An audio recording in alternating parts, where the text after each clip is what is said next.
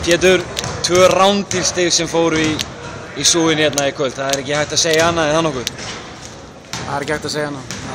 Þetta er bara ótrúlegt. Þetta er þriðja skipt sem þetta gerist. Við leikjum okkur í vetur þar sem við erum að fá svona þryggjastakverður í andlitið okkur þegar tíminu tíminu er búinn. Ég meina þeirra á svona, á svona bassar. Það er bara erfitt að kingja því. Þetta er bara þróast hann í dag. Við vorum komin með góða fórstu í, í fjörða leikluta. Við náðum einhvern veginn að klúra henni. Palm sá um það. Hann náttúrulega átti stóru leik hérna, sérstaklega í fjörða leikluta. Það er upp með að stoppa hann.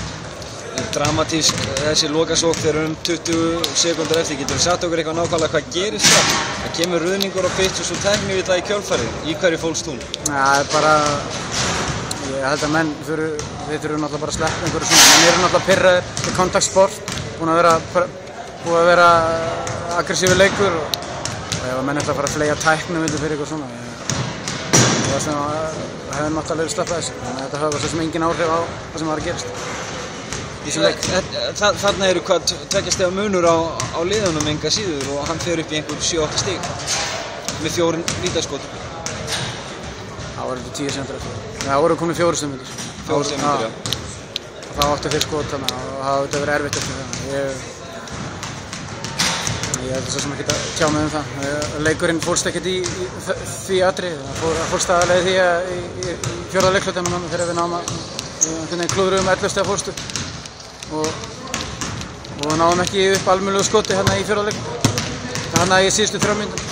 Þessi ósugur hérna í kvöld, hann setur ykkur í, í fallsæti en það er einhvað síður ekki öll nótt úti enn. Nei, nei. Uh, við erum búin að sína það í að við getum unnið öll liðin og, búin að tapa, að þrejum leikjum alveg ótrúlega hátt og það var mótið stjórninu og, og, og hérna, stjórninu og, og Snæfell og það sína það að við getum alveg unnið þessi lið, við erum alveg, alveg það, það inni. Svo að hérna, það við leggjum ekki dára reypa, það eru þrjí leikir eftir og við erum að klára það með sæn, halda okkur uppi ef, ekki, ef það kom okkur úrslut kemna þá er það frábært. Líkillin að þessum mestu þremu leikjum, Hva, hvað er það sem þú vilt sníða af ykkar leik 1, 2 og 3? Varnarleikur, það halda áfram bara varnarlega og, og hérna, við þurfum að hreyfa boltan aðeins betur, við erum ekki að fá nógu góð skot í sókninni og, og hérna, við þurfum eiginlega að, að, að, að fara í þau mál svolítið á æfingur núna.